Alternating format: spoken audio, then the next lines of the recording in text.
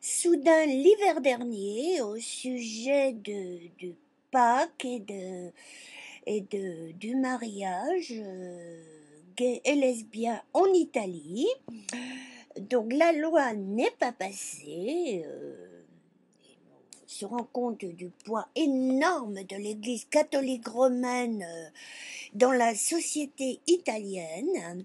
Euh, bon, la France étant hein, la fille aînée de l'Église, on peut se dire aussi que le poids de l'Église catholique romaine est aussi énorme ici. La seule différence, comme l'ont souligné les les, les, les auteurs, à savoir euh, Gustave Hofer et Luca Ragazzi, c'est que les politiques français ont passé cette loi. Voilà.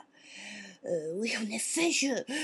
il n'est que de voir, euh, pour parler de la société française et de l'homosexualité, euh, nous avons tendance à être dans une bulle, mais rien que de se placer devant le Rex et d'entendre certaines réactions au vu de l'affiche et des commentaires pas très... voilà, je me dis, il suffirait de lâcher les masses.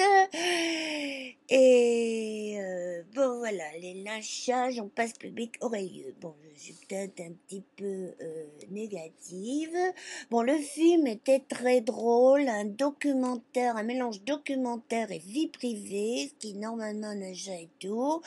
Aussi, euh, se glisser dans les manifestations d'extrême droite pour raconter qu'on est soi-même gay.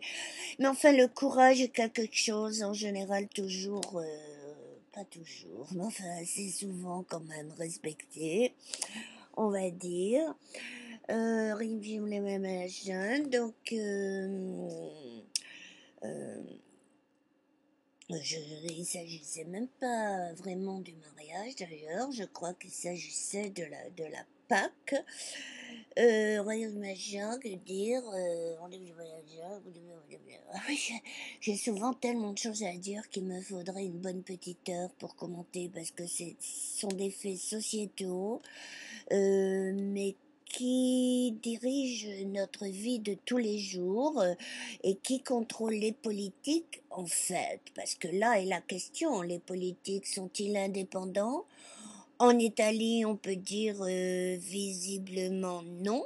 Et personnellement, euh, je m'interroge énormément pour ce qui se passe en France aussi, parce que quand même, à peu près tous les politiques de premier plan en France, qui soient de gauche comme de droite, se revendiquent fortement de l'Église catholique romaine, euh, qui est dictatoriale, on va le dire.